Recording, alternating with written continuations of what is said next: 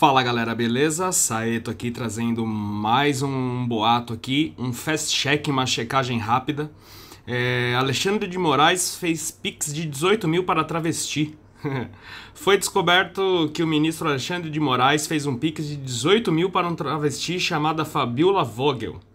Recebi hoje um, uma história de um pix em um pagamento a um travesti feito pelo senhor. 18 mil para pagar serviços sexuais?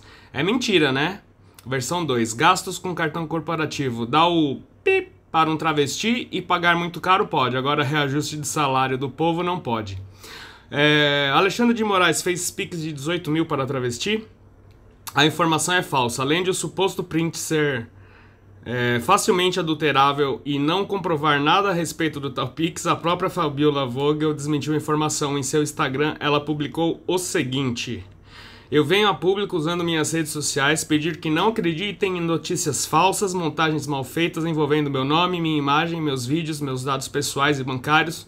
Sou totalmente contra fake news.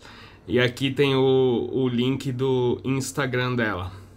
É, é uma checagem rápida, é um boato. É... Não foi dessa vez, galera. Não foi dessa vez que vocês pegaram o carequinha, beleza? É, eu sou o Saeto, vou ficando por aqui. Valeu, falou, fui.